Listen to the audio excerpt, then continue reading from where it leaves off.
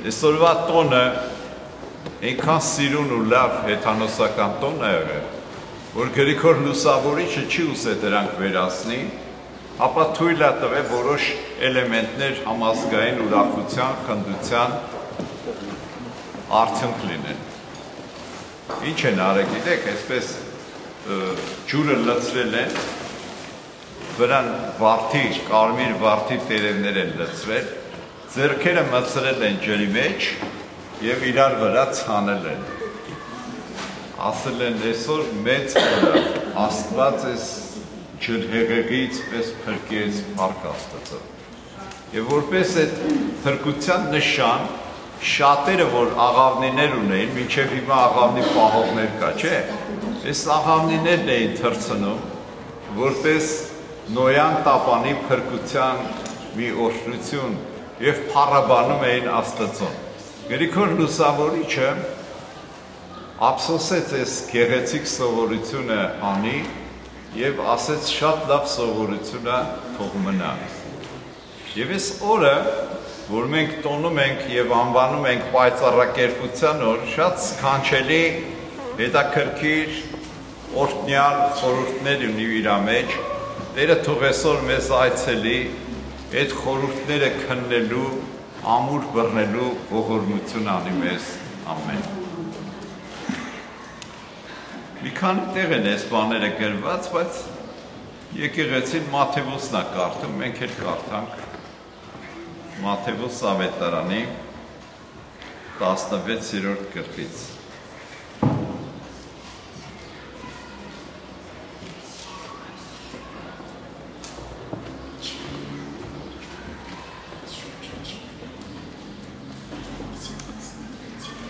Մինչև այդ պայծառակերպության բանը Հիսուսը տարօրինակ բան է հարցնում առաքյալներին։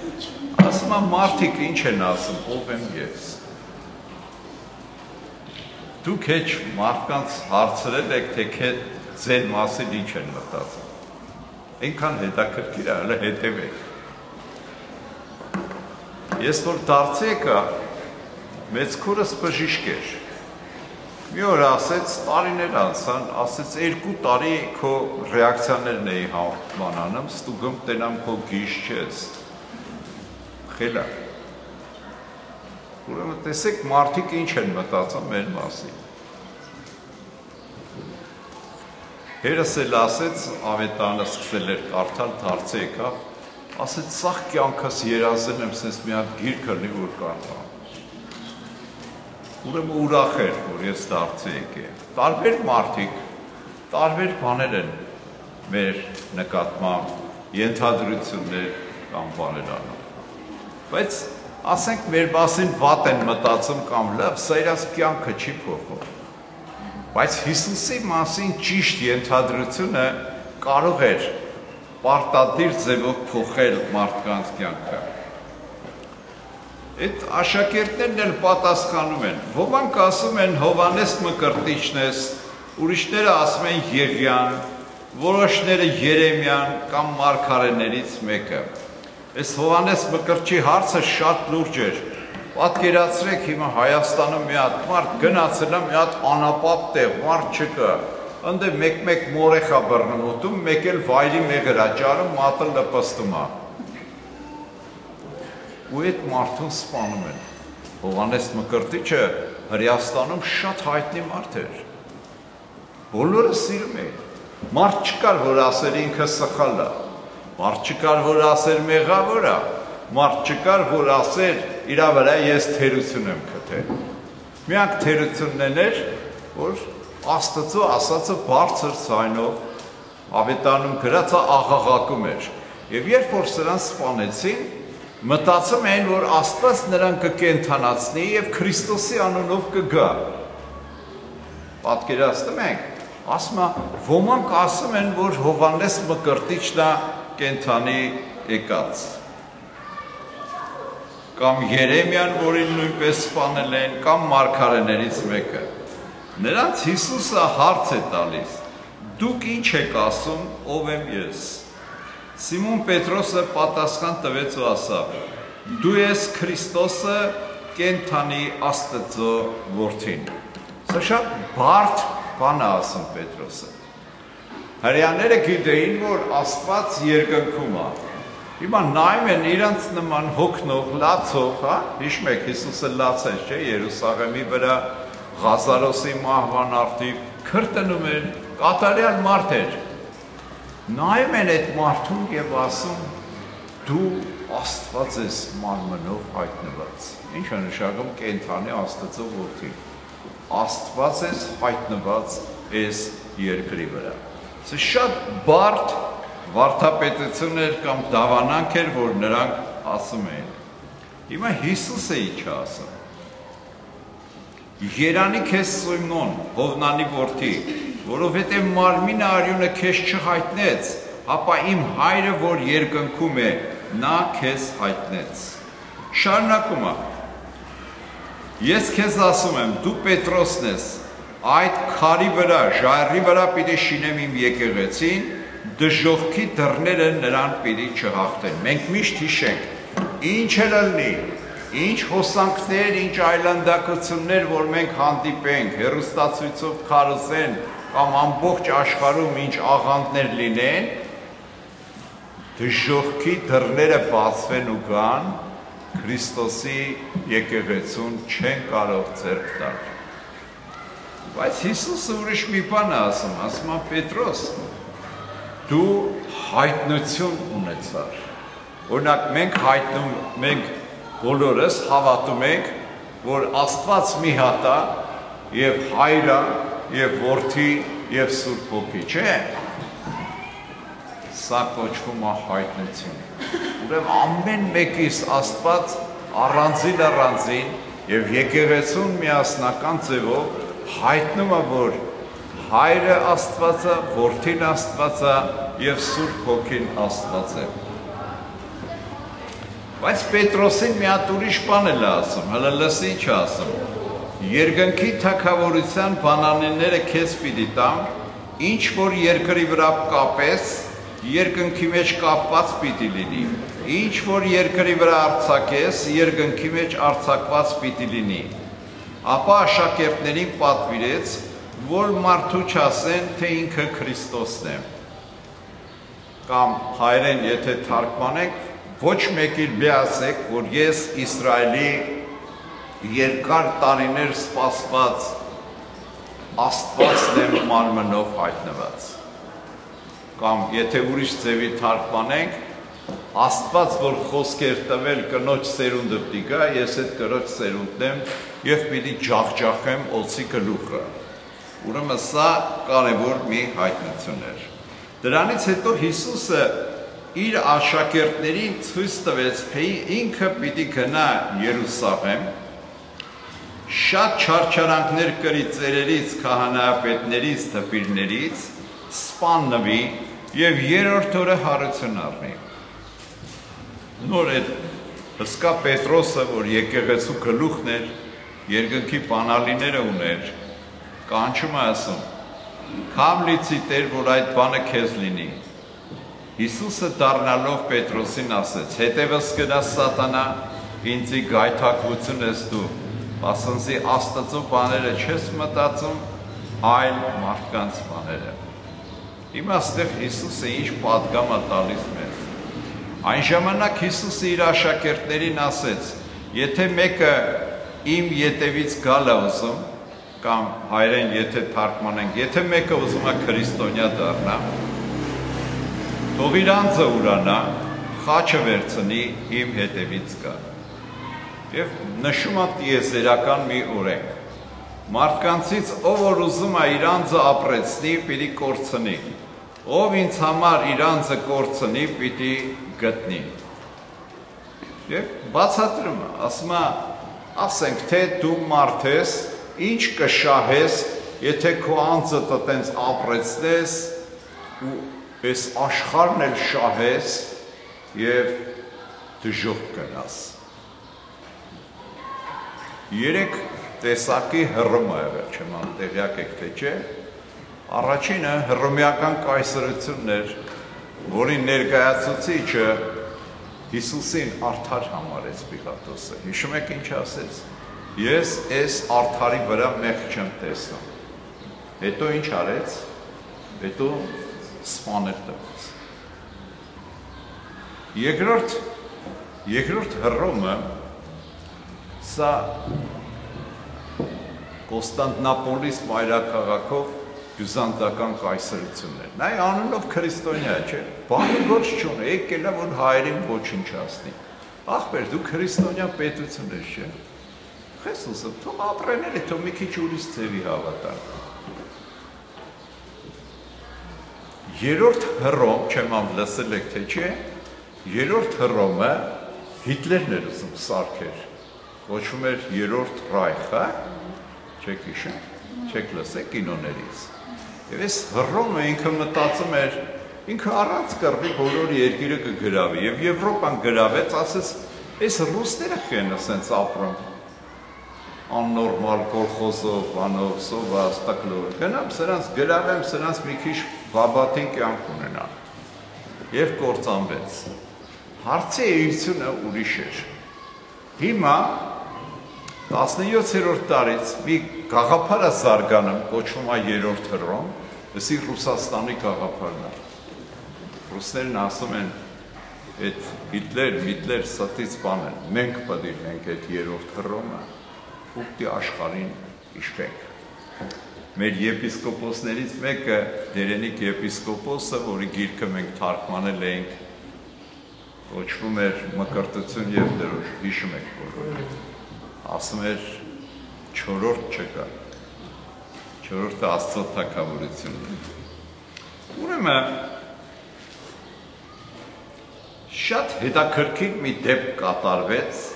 Թաբոր լեռան վրա։ 6 օր հետո Հիսուսը իրեն հետ առավ Պետրոսին, Հակոբոսին, նրա եղբայրը Հովանեսին, նրանց բարձր մի լեռ հանեց։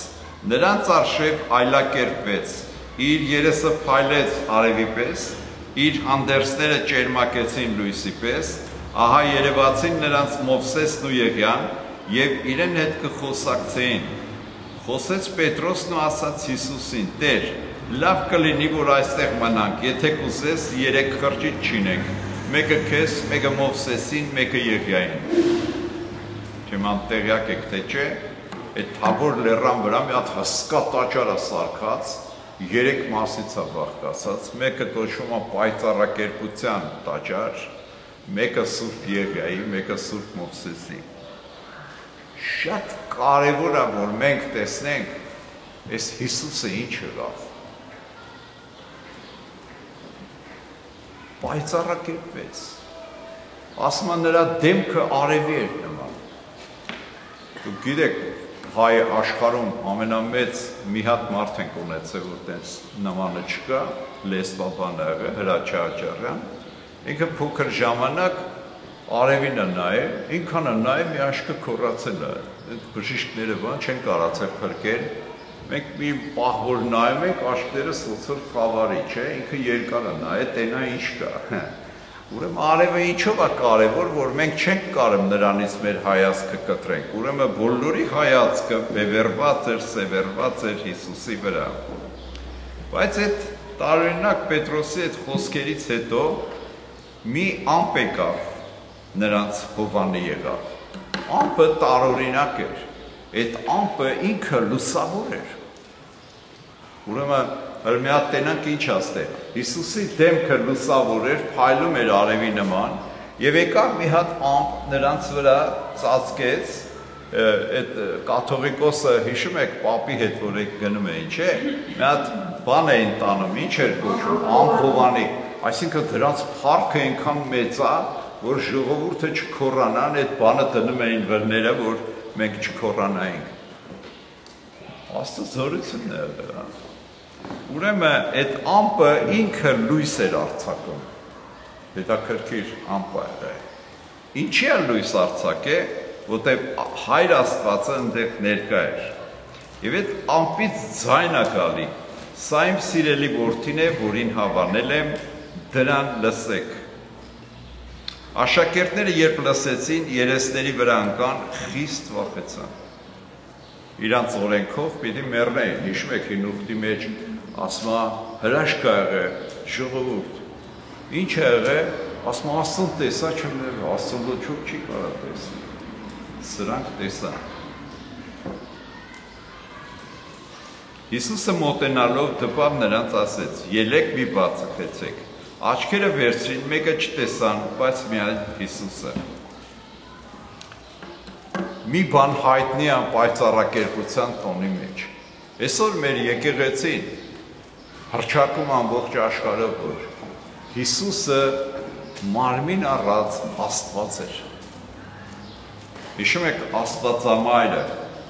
Երբ որ Հիսուսը հայտնվում է իր որովայնի մեջ, հա ինչ ասա,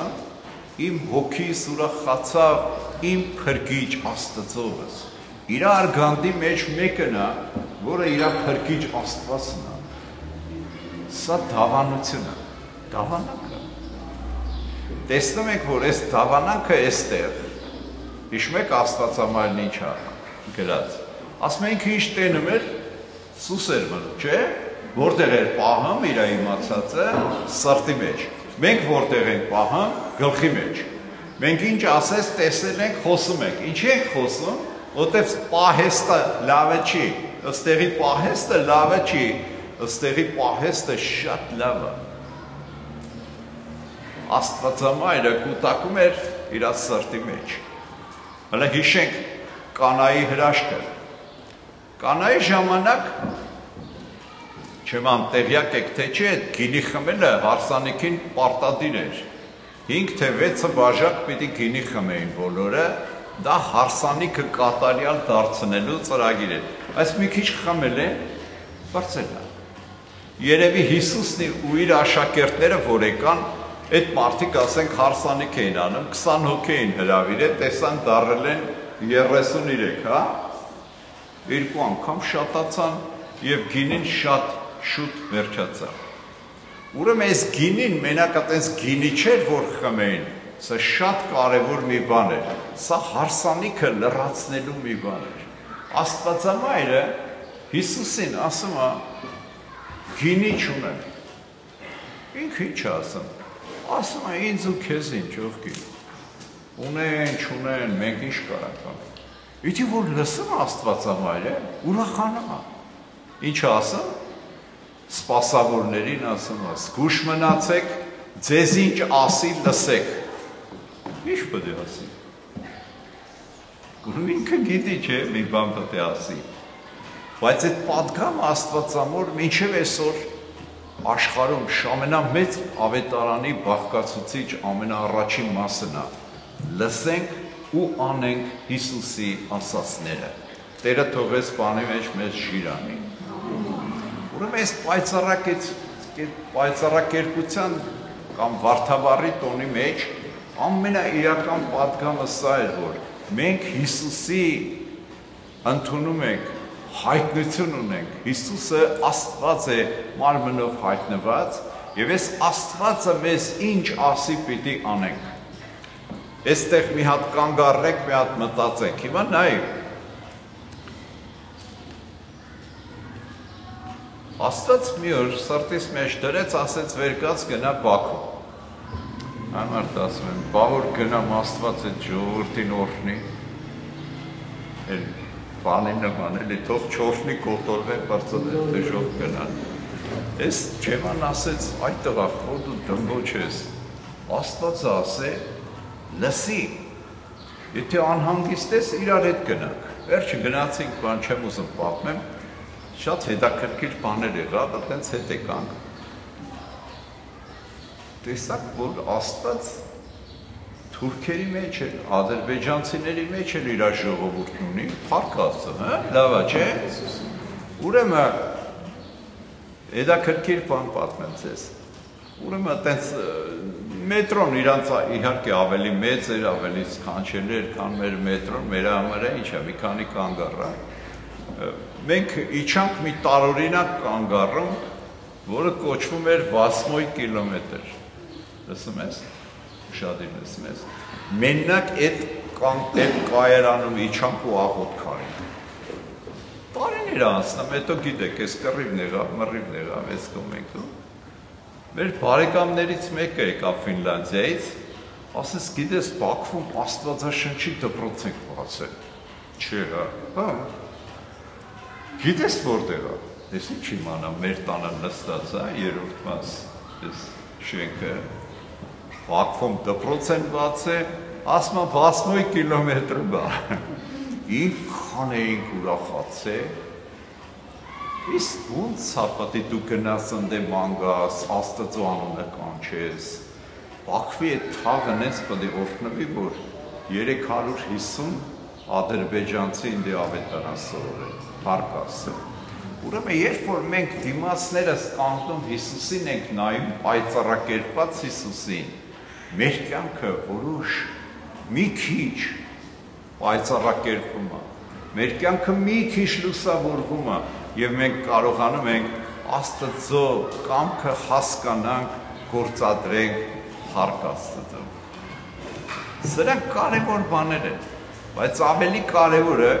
հաջորդն է։ Օրինակ Այս երբ որ սարից իջնում են,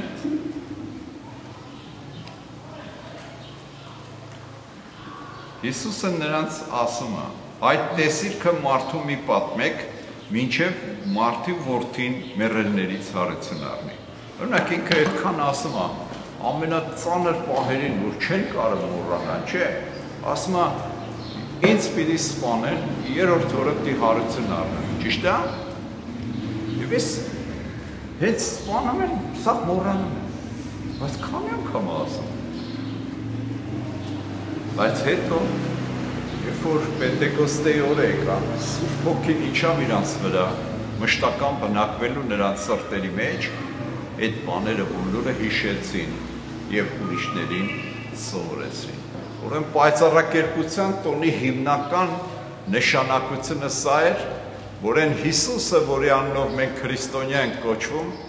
Աստծո խոստացված որդին էր, Աստծո միածին որդին էր, եւ այդ բանը մենք հավատքով որպես հայտնություն ենք իմանում։ Աստված մեզ հայտնում է Հաջորդը շատ կարևոր մի դաս է, որ Աստված նույնպես ուզում է, որ մենք սովորենք։ Ըստի ասում են, այ Հիսուս, բա որ դու ես, Ինչի են դպիրները ասում, թե պետք է առաջ Եղիան գա։ Դպիրները հեսնես չէին ասում, հինուխտը կարդացել էին, ասել է, ընդ գրած էր, որ Քրիստոսից առաջ Եղիան պիտի գա ասում է, բա ինչ եք իմանում, եկավ թե չէ։ Ասում է, Եղիան եկավ ու դուք ինչ ուզիք նրան արիք։ Ինչ արին Եղիան։ Գլուխը կտրի։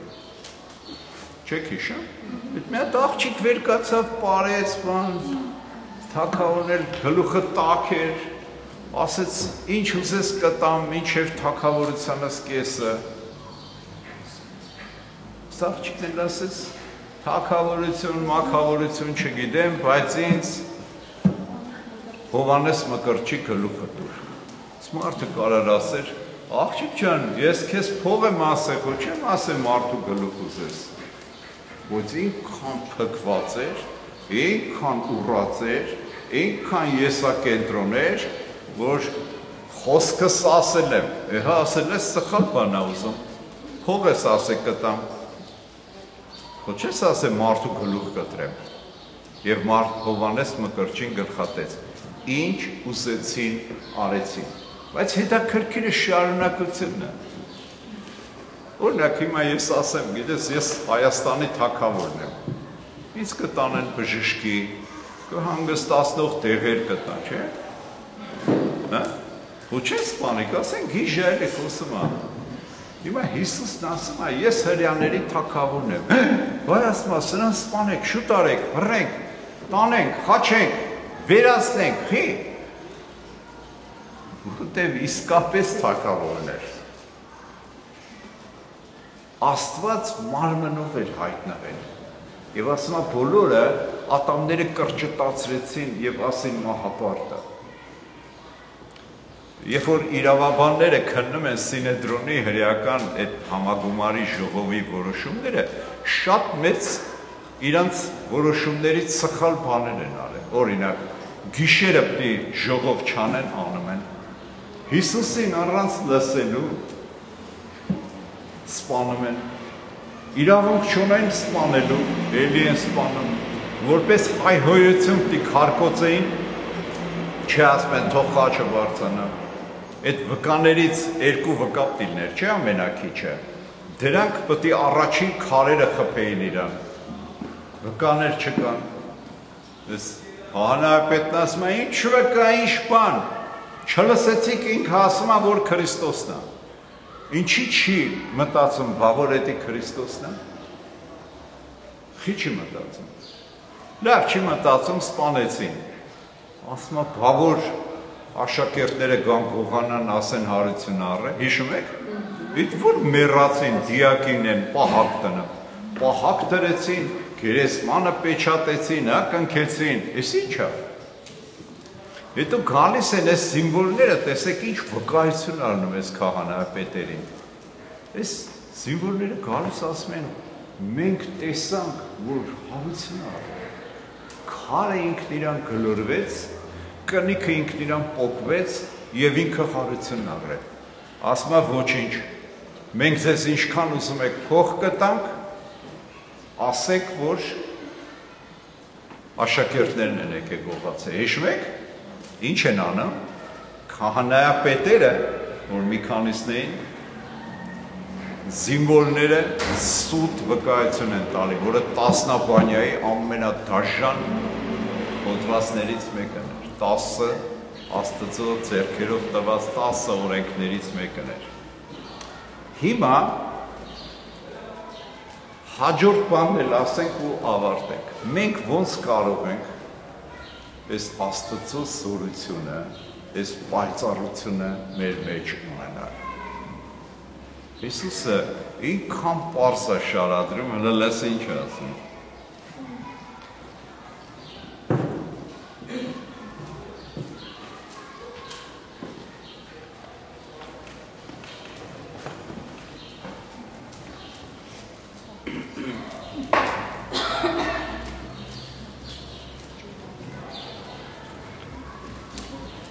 Այսօր եկեղեցին շատ հետաքրքիր Սողոմոնի իմաստությունից է կարդում։ Դե ասում է, որ Աստվածային իմաստությունը երկու բան կարանի։ Մարդուն կարա իմաստուն դարձնի եւ մարդուն կարա նորոգի։ Նորոգելը մի քիչ պատկերացնում եք։ Ուրեմն երբ որ մենք այս Քրիստոսին այսպես վստահում ու հավատում ենք, մենք կարանք նորոգության ուղեղի ուղու մեջ ընթանալ։ Երեք բան է ասում Քրիստոսը։ Ուրեմն եթե մենք մեր անձը ուրանանք, մեր խաչը վերցնենք, սկսենք հետևել Քրիստոսին, ժամանակ առ ժամանակ մեր կյանքը կնորոգվի եւ մեր մեջ կհայտնվի Քրիստոսի պայծառակերպության փառքը։ Այս վերջերս իմ մոտ քիչ է հայտնվում բայց որ նոր է դարձեկը շատ է հայտնում։ Ուրեմն ով նայում էր ինձ sense ի՞նչ է եղել։ Ի՞նչ է եղել։ Չեքես մի բան, ի՞նչ է եղել։ Դու ուրիշ մարդ ես, ասում ես Սակարյան Ամլետն եմ։ Այս երրորդ մասից մանես տնից։ Ընդեմ ծամբե մեծացել ոնց դու։ Ասում ես։ Չի ասում են քո դեմքը ուրիշ է։ Դեմքս ի՞նչ է։ Քո դեմքը ուրիշ է մենք այս մեր անձը ուրանալուց, մեր խաչը վերցնելուց, ամեն օր Քրիստոսին հետևելուց երկու մեծ օրհնություն պետք է ապրենք։ Առաջինը նորոգող մի կյանք կարող ենք ապրել եւ Քրիստոսի այդ լուսահեղ, լուսաշող պայծառակերպությունը մեր մեջ պիտի տարածվի։ Տերը թող մեզ ողորմի։ Ամեն։ Ես այս կարոսը մի քիչ հասկացա Բայց սրտի սուզածն ինչ է, որ մի քիչ էլ դուք լուրջ վերաբերվեք այս պայծառակերպության տոնին։ Ինչ են դրել հայրերը։ Դրել են, որ մենք հիշենք, որ Հիսուսն Աստված է։ Եթե ես մկրտված քրիստոնյա եմ, եթե անկեղծ քրիստոնյա եմ, եկեղեցու դավանանքն ընդունում եմ, բոլորս էլ հավատում ենք, որ հայրը, որդին եւ Սուրբ Հոգին ինչ են, Աստված են, չէ՞, մի Աստված են։ Ուրեմն այս պայծառակերպության տոնը դրած է որպես աղավար կամ հիմնական 5 տոներից մեկը մեր եկեղեցում, որպեսի մենք մեր անձը ուրանանք, խաչը վերցնենք, Քրիստոսին հետևենք եւ մենք էլ կարողանանք պայծառակերպվել։ Տերը թողես ողորմություն ու շնորհք երկարի իր փառքի համար։ Ամեն։